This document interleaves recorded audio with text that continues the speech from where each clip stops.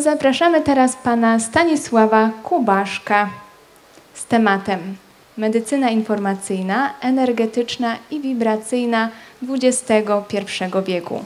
Biore, biorezonans, biofila. Pan Stanisław to muzykoterapeuta, radiesteta, bioenergoterapeuta oraz mistrz rejki.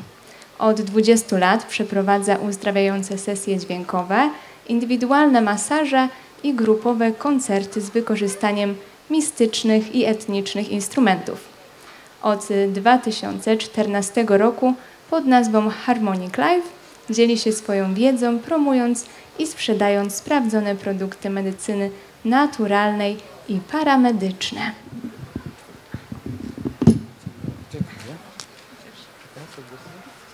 Dzień dobry, dzień dobry, witam serdecznie, dziękuję.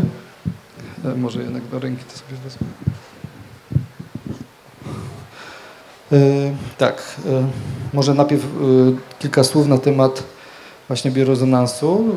Można powiedzieć, że pod tą nazwą biorezonans no, dużo, jakby dużo się kryje, bo dużo różnych jakby pod tą nazwą występuje na rynku też światowym, ale są też urządzenia takie proste, oparte na jakimś takim polu tylko magnetycznym, czyli bardzo mają, można powiedzieć, taki bardzo okrojony zakres y, terapeutyczny i przede wszystkim diagnostyczny, a są też urządzenia, które właśnie pod kątem chociażby samej diagnozy mają bardzo szeroki zakres, właśnie poprzez y, szczegółowy skan całego organizmu. Jest to bardziej skan na zasadzie takiej bioindukcji, która na zasadzie światła i podczerwieni skanuje nam poprzez mózg, poprzez rdzeń kręgowy do wszystkich organów. Jakby te impulsy częstotliwościowe docierają do każdej komórki, do każdego organu, do każdej tkanki, do każdej helisy DNA. Możemy bardzo głęboko, szczegółowo jakby ten organizm, można powiedzieć, przefiltrować, przeskanować i mamy konkretne informacje, co w tym organizmie się wydarza, co się tam po prostu dzieje, co się dzieje w każdym organie, jakie patogeny w tym organizmie są. Przede wszystkim pasożyty, bakterie, wirusy, grzyby, bak e, grzyby, bakterie, pasożyty, co tam jeszcze? No i przede wszystkim jeszcze patomorfologiczne zmiany, czyli tak zwane stany ogólnie określane jako stany chorobowe, czyli wszystko, co tam wydarza się na skutek też tych pasożytów czy jakichś grzybów, patogenów, wszystkie jednostki stany chorobowe, czy jakieś zapalenia, czy jakieś poważniejsze, już jakieś takie przebyte, czy długotrwałe zmiany w tych organach, tkankach, to wszystko jest to też bardzo szczegółowo, że tak powiem, nam pokazane i wtedy wiemy też dokładnie, jak pracować z tym naszym organizmem, co jako pierwsze trzeba zrobić, bo jest to wtedy jakby taka praca, no, usuwamy praprzyczyny tego wszystkiego, co się w nim wydarza, czyli przede wszystkim usuwamy pasożyty, patogeny, grzyby i tak dalej. Potem możemy poprzez ten biorezonans usunąć, odwrócić jakby zapis energoinformacyjny właśnie tych, tych, tych stanów chorobowych, patomorfologicznych, bo one nie tylko są na skutek tych powiedzmy patogenów, ale także zapisu energoinformacyjnego właśnie też DNA, RNA bo też pokazuje nam taki zapis, który może być dziedziczony właśnie y, w DNA. I wtedy możemy też nawet na poziomie DNA zmienić ten zapis energoinformacyjny, czyli na zasadzie odwrócenia i zniwelowania, jakby usunięcia na polu fantomowym, energowibracyjnym. To daje właśnie niesamowite możliwości, że pracujemy bardzo głęboko z tym naszym organizmem, na, poziomu, na poziomie właśnie tym wibracyjno-informacyjnym. Dlatego jest to też określane jako medycyna przyszłości, medycyna informacyjno-wibracyjna. Rzeczywiście z doświadczenia już po praktycznie już 4, tak ponad 4 lata pracuję z tym właśnie zaawansowanym urządzeniem technologicznie, jako biorezonans właśnie ten kwantowo, można powiedzieć wibracyjno-informacyjny. I rzeczywiście efekty, jakie to przynosi chociażby na początku samego rozpoznania praprzyczyny y, tych różnych, że tak powiem, stanów chorobowych, czy tego, co się wydarza w naszym organizmie, to przynosi no, niesamowite rozpoznanie i niesamowite, że tak powiem, ukierunkowanie naszej potem terapii, czy chociażby jakiegoś konkretnego detoksu, czy konkretnego działania ukierunkowanego na, na, na usuwanie wszystkiego po kolei. Czyli zaczynamy, na pewno zaczynamy od tych wszystkich największych obciążeń organizmu, czyli wiadomo, dużych pasożytów, bakterii, wirusów, grzybów. Potem skupiamy się na tych stanach chorobowych, czyli chociażby samych stanach, stan, stanach zapalnych całego organizmu. Y, przede wszystkim trzeba się tym zająć, czyli zdjąć wszystkie stany zapalne. No i potem oczywiście jakiś detoks jeszcze oczywiście też pokazuje ciężkie metale, jakieś tam alergeny, coś co, co oczywiście w tym organizmie jest i wtedy dokładnie możemy to zrobić bardzo, bardzo szczegółowo, bardzo ukierunkowaną tą terapię. Sam biorezonans, e, ten właśnie Biofilia X4 Max ma dodatkowo jeszcze inne możliwości. Ma też zapisane w bazie danych leki homeopatyczne, ziołowe, e, esencje Bacha, jakieś suplementy różnego rodzaju i też nam jakby proponuje, doradza, jakie dodatkowe wsparcie dla tego naszego organizmu możemy zastosować w lekach homeopatycznych, ziołowych czy jakichś właśnie różnych innych, e, gdzie dodatkowo, oczywiście jeszcze dodatkowo każdy ten jakby specyfik indywidualnie dostosowujemy do danej osoby, czy jakby skanujemy go pojedynczo na zasadzie takiego dopasowania, takiego też dodatek, takiego dodatkowego krótkiego skanu i wtedy też pokazuje nam efekt, czy ten lek dany dla, dla tej osoby, jest, czy w ogóle on jest dobry, czy on jest pozytywny, czy negatywny. A jeśli jest pozytywny, to w ilu procentach jest w stanie pomóc dany organizm. Czyli mamy też tą terapię taką, można powiedzieć, już ukierunkowaną i konkretnie dostosowaną. Nie, nie na ślepo stosujemy jakieś leki, tylko właśnie mamy konkretny wynik, że ten lek, takie takie zioło jest w stanie pomóc na przykład przy terapii miesięcznej E, wzmacniająca terapia wyrównawcza całego organizmu jest na przykład na poziomie 50%. No I to już jest bardzo dobry wynik. A nieraz niektóre zioła czy niektóre inne specyfiki mogą mieć nawet poziom 70-80%. Przy terapii miesięcznej oczywiście. No to wiadomo, że to jest taki, można powiedzieć, minimalny okres czasu terapeutycznego, który przy takich specyfikach się stosuje. A oczywiście i tak stosuje się go o wiele dłuższym okresie, ale to jest takie minimum, żeby to było już jakiś efekt dla naszego organizmu. Potem jeszcze po takim jakby wzmocnieniu i wsparciu organizmu możemy jeszcze robić terapię taką rewitalizującą. Ten biorezonans po prostu na poziomie właśnie tkankowym, komórkowym, mitochondrialnym, nawet na poziomie ATP, właśnie DNA, RNA, jest w stanie przede wszystkim zrobić rewitalizację organizmu i taką metakorektę, czyli te wszystkie zmiany, Y, spadki energii, jakieś takie dysharmonie, czy jakieś takie kwestie zablokowania, właśnie na poziomie tym energoinformacyjno-fantomowym odblokowuje ten organizm i daje nam ten idealny wzorzec, ten jakby matrycę wzorcową, można powiedzieć takim językiem technicznym, takie jakby ustawienia do ustawień fabrycznych, coś w tym stylu. Czyli jakby odblokowuje nam te wszystkie zmiany, które już zaistniały, które nie są, są jakby wzorcem, idealną matrycą i pokazuje jakby tej tkance, komórce ten idealny właśnie odnośnik, jakby ten idealny wzór, tą idealną matrycę, jaka powinna być na, na poziomie właśnie czy tkanek, czy komórek, czy właśnie całych organów, czy właśnie tych heliz DNA, RNA. I to jest też mega, mega mocna terapia która no, jest w stanie bardzo szybko przede wszystkim zrewitalizować organizm i wznieść ten organizm jakby na inny poziom wibracyjno-energetyczny, wspomóc cały organizm, żeby on szybciej, przede wszystkim szybciej się zregenerował, szybciej doszedł do tego swojego idealnego poziomu stanu, harmonii, homostazy przede wszystkim. Ale oczywiście na początku trzeba najpierw ten organizm skutecznie oczyścić, usunąć te wszystkie patogeny, no bo to, to najbardziej jakby powoduje najwięcej stanów chorobowych, różnych innych uwarunkowań, jakie w tym organizmie po prostu są. Oczywiście sprawa wygląda też tak, że no, nie każdy może do końca chciałby wiedzieć, co w tym organizmie jest, bo dużo osób rzeczywiście po takim badaniu trochę tak niesmacznie na to patrzą, że o kurczę, jak mogę mieć tyle różnych robaków, nie? jakieś glisty, jakieś coś, a to takie jest no nie, nie bardzo przyjemne i dlatego to jest taki temat, no można powiedzieć, niefajny kwestii nawet taki wizualno-energetyczny, ale no taka jest prawda. E, pasożyty są i nie da się powiedzieć, że ich nie ma, bo medycyna, można powiedzieć, konwencjonalna bardzo ten temat e, zamiotła pod dywan i niewiele się o tym mówi.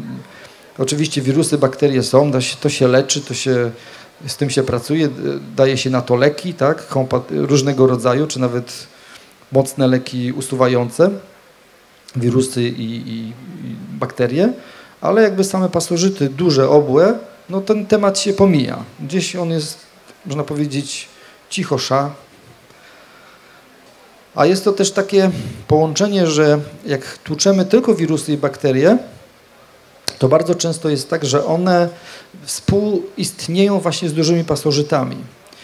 I one, jak już y, organizm, ktoś na przykład bierze jakieś leki usuwające patogeny, ale właśnie małe wirusy, bakterie, czy jakieś właśnie tego typu, czy antybiotyki, czy jakieś inne rzeczy, to te wirusy, bakterie, one sprytnie współgrając jakby w synergii z tymi dużymi pasożytami, one używają tych pasożytów jak taką arkę przymierza. One się chowają tych pasożytów, przeczekują ten czas, że tak powiem, usuwania i potem jak już środowisko jest, że tak powiem, w organizmie sprzyjające, z powrotem wychodzą sobie z tej arki i znowu atakują organizm, znowu się zaczynają namnażać i rozwijać. No i dużo przypadków też takich miałem osób, które miały właśnie chroniczne, długotrwałe wirusowe czy bakteryjne zakażenia organizmu, czy grzybiczne właśnie, gdzie tam ileś miesięcy, nawet lata leczyły się na te różne bakterie, wirusy i praktycznie no, bardzo małym skutkiem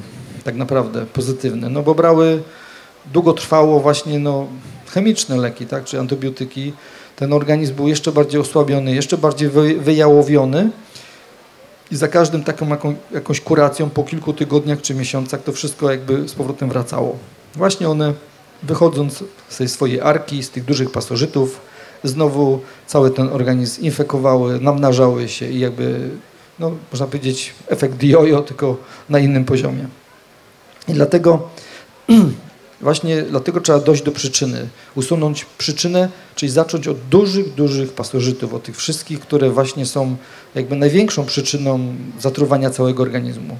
Po pierwsze one też produkują neurotoksyny, odchody i też zatoksyczniają nasz organizm. I to bardzo poważnymi neurotoksynami, gdzie w tym organizmie potem te toksyny też oczywiście są, zatruwają organizm, organizm też oczywiście się broni przed tym, albo to wyrzuca przez skórę, albo zamyka to w jakieś cysty, guzy, żeby, żeby to wyizolować w organizmie. I też tworzą się różne inne skutki chorobowe właśnie na skutek tych pasożytów, które no, zanieczyszczają ten organizm, zaniżają naszą, można powiedzieć, częstotliwość, nasze samopoczucie, bardzo negatywnie wpływają na nasze też samopoczucie takie, można powiedzieć, e, energetyczno-psychiczne.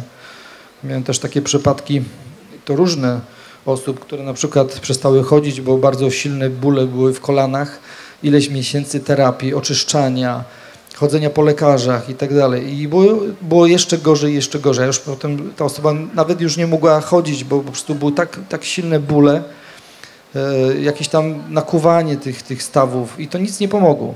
Dopiero przy biorezonansie wyszło po prostu, że ta osoba w tych kolanach, w tych stawach są po prostu pasożyty po prostu zalęgły się, tam pasożyty się dostały.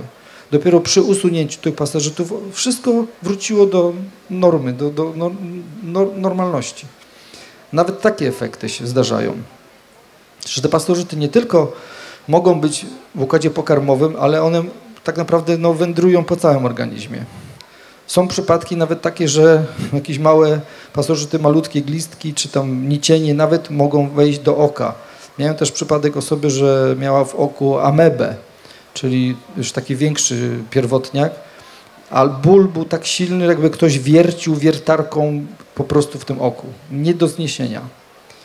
No zainfekować się takimi rzeczami no można wszędzie tak naprawdę, no niestety. To, to cała tam, można powiedzieć, flora pasożytniczo-bakteryjna no jest wszędzie i, i każdy od siebie, od siebie może się zarazić, a przede wszystkim bardzo dużo takimi dużymi pasożytami jak listami czy przywrą, to można się przede wszystkim zarazić od zwierząt, od piesków, kotów. To jest najczęstsze za zarażenie i dlatego, jak wiemy, no, pieski, koty czy jakieś takie nasze e, milusińskie e, oczyszczamy, odrobaczamy nawet 3-4 razy do roku i to powinniśmy robić i to koniecznie, a jakoś człowiek zapomniał o tym, żeby zadbać też o siebie, tak? o swoje ukochane istotki dba i to robi, ale jakoś o, sobie zapomniał, że też powinien się odrobaczyć, czy jakoś intensywnie, że tak powiem, zrobić detoks e, organizmu, bo tak naprawdę detoks, takiego pełen, pełen detoks naszego organizmu powinniśmy robić przynajmniej dwa razy do roku, na jesień, na, na wiosnę. To jest takie minimum tak naprawdę, a nawet cztery razy do roku. Jak mają zwierzęta, które z nami żyją, współistnieją, no to na pewno powinno być to o wiele częściej i bardziej, bardziej świadomie jakby do tego z większą świadomością powinniśmy do tego podejść. Jak to jest?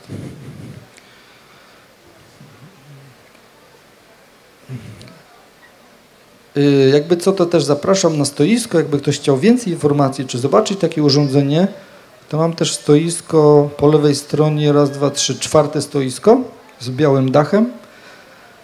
E, też dużo różnych suplementów, ziół, ekstraktów, właśnie też przede wszystkim na detoks, na oczyszczanie organizmu, rewitalizację organizmu, odmładzanie organizmu. E, są też takie różne urządzenia, które rewitalizują, podnoszą energetykę i ochraniają nasz organizm na poziomie energowibracyjnym, częstotliwościowym w formie takich różnych właśnie wisiorków, medalionów. Też jakby zapraszam do informacji. Jest to też wszystko japońska technologia. No dużo, dużo było też wywiadów na ten temat tutaj w telewizji VTV. Chyba już raz, dwa, trzy takie wywiady były przez przeciągu tam kilku lat. Jakby coś, to zapraszam też do takiego materiału do obejrzenia. Hmm, co tu jeszcze?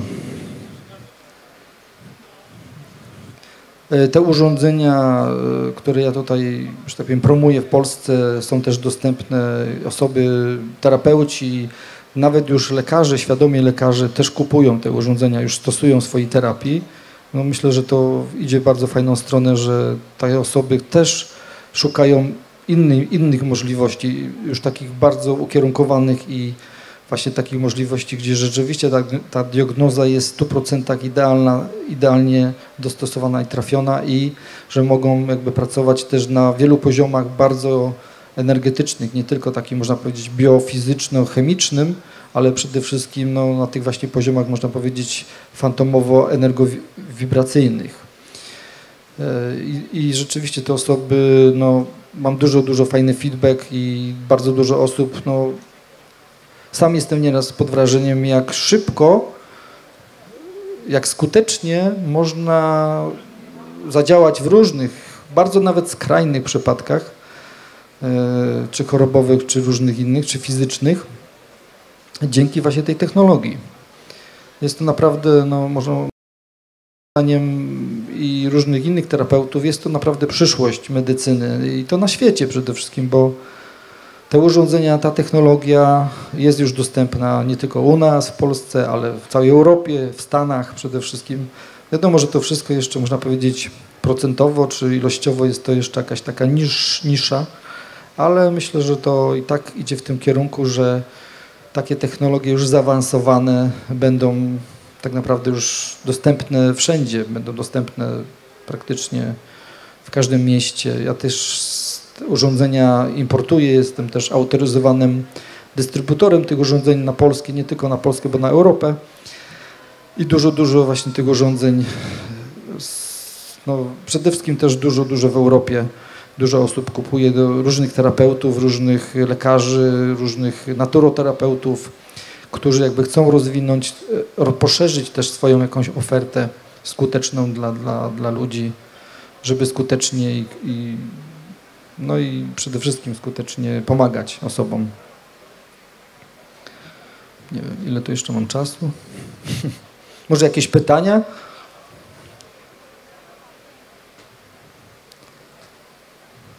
Hmm?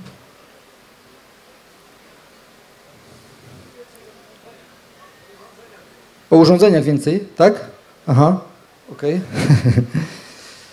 No to urządzenie, akurat mam dwa, e, dwa różne biorezonansy, bo jest to Hunter, Meta Hunter, jest to też takie dosyć znane urządzenie. O, Meta Hunter też ciekawe urządzenie, bo tam jest e, troszeczkę prostsze, wolniejsze urządzenie z tych wszystkich, które są na rynku, ale też tam jest bardzo takie fajne, bardzo intuicyjne jakby, e, ta obsługa jest bardziej taka prostsza, intuicyjna i jest też tak bardzo fajny, taki inteligentny skan, że on sam skanując ten organizm wyszukuje nam jakieś problematyczne miejsca i nawet jak znajdzie jakieś takie miejsce gdzieś już wewnątrz ukryte w danym organie, to on już doskanowuje głębiej, głębiej i pokazuje, że ten problem nie jest tylko w danym organie gdzieś powierzchowny, ale jest głębiej ukryty już nawet na właśnie na tych poziomach DNA, RNA i pokazuje właśnie, że tam się te, jakby trzeba się tym po prostu zająć. I bardzo, bardzo fajne urządzenie, które właśnie fajnie właśnie przemyślana jest ta technologia pod tym kątem. No i też już na rynku pojawił się też Hunter właśnie z certyfikatami medycznymi, typowo pod kliniki, typowo pod lekarzy, to jest akurat trochę inna firma, która e, zrobiła te certyfikaty, koreańska firma, która też na licencji jakby ten, te urządzenie produkuje, ale właśnie zrobiła jakieś właśnie badania typowo kliniczne i ma certyfikat medyczny na to urządzenie, czyli idzie to naprawdę w super stronę. Jest to certyfikat medyczny na Unię Europejską i USA. Tylko, że oczywiście już takie urządzenie tego samego, tego samego pokroju, ale mając właśnie ten certyfikat medyczny, no, no już wtedy niestety kosztuje tam dziesięciokrotnie więcej. No ale to wiadomo, to są różne koszty, to są różne inne tam strategie, że tak powiem, danej, danej firmy. Ale jest dostępne też w Europie, jest to typowo właśnie pod kliniki, instytuty, czy właśnie szpitale, czy świadomych lekarzy, którzy chcieliby naprawdę skutecznie no, mieć do dyspozycji dobrą technologię, która jest skuteczna i która naprawdę no, jest w stanie pokazać bardzo dużo i pokazać właśnie konkretną przyczynę, praprzyczynę różnych problemów w naszym organizmie. O, myślę, że chyba to już właśnie jest końcówka, tak? Ile czasu? Ojej, to sporo jeszcze. A potem właśnie drugie urządzenie to jest właśnie ta Biofilia Intruder e, Tracker 4 Max, która jest jeszcze bardziej zaawansowana pod kątem technologicznym, jeszcze szybsza, jeszcze bardziej dokładna, ale to już można powiedzieć, że taka duża maszyna, która właśnie bardzo skutecznie i pod kątem diagnostycznym, ale też terapeutycznym. Tam już trochę wymaga więcej wiedzy, e, chociażby samej anatomii człowieka, ale też bardzo dużo właśnie z podpowiedzi takich i terapeutycznych, no i tych leków różnych homeopatycznych czy ziołowych. No, możliwość taka terapeutyczna tych urządzeń no, daje nam dużą, dużą gamę, że tak powiem, zastosowań różnego rodzaju. Może jeszcze jakieś pytania?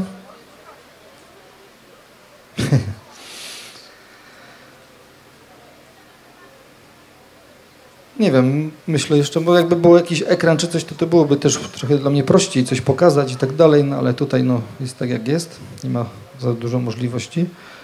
O, super, zapraszam.